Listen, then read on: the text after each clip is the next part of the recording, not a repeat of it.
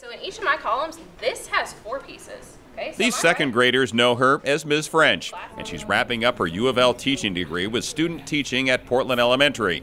For Sarah French, it's been a difficult path just getting to graduation day, overcoming her own parents divorcing, losing their house, mounting bills, and some of her own teachers who didn't expect Sarah to amount to much. I had a lot of teachers that were the kind of ones that it was like, unless you weren't the perfect kid, they didn't believe in you, like at all. I had a teacher who, um, when I told her the situation and what was going on, she was kind of just like, you're never going to be able to deal with college or be a professional or anything if you can't do this.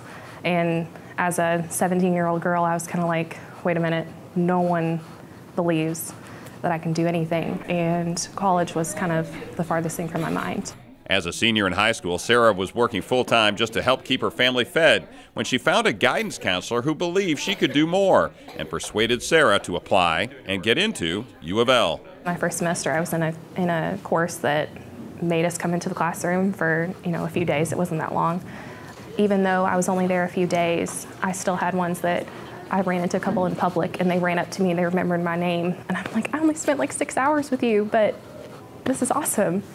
And I just I knew that that's how I wanted my life to be.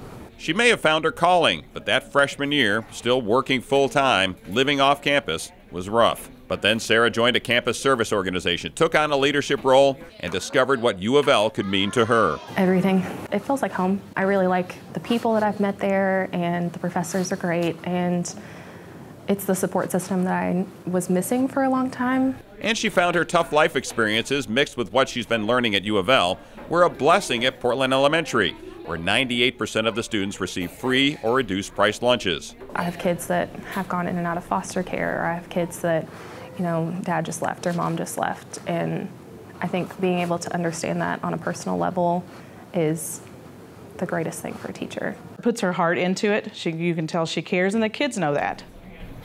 How they run up in the hallway and hug me. it's the greatest feeling in the world.